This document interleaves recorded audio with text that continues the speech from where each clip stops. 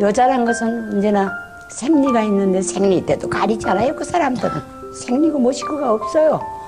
무슨 짐짝 걸어가다 그러다가서 자기네 마음대로 쓰고 싶으면 쓰고 고장이 나서 말하자면 병이 나든가 그러면 버려버리고 갖다 죽여버리고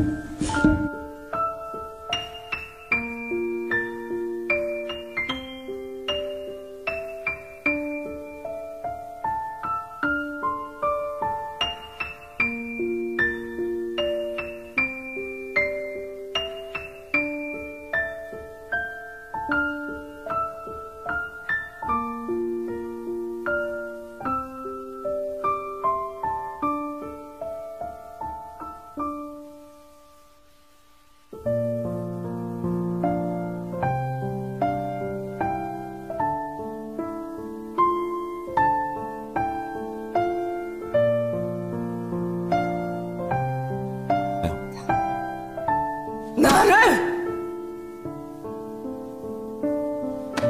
나를 본래 모습으로 돌리도. 당장 17살 그때 모습으로. 지금 기회를 줄게.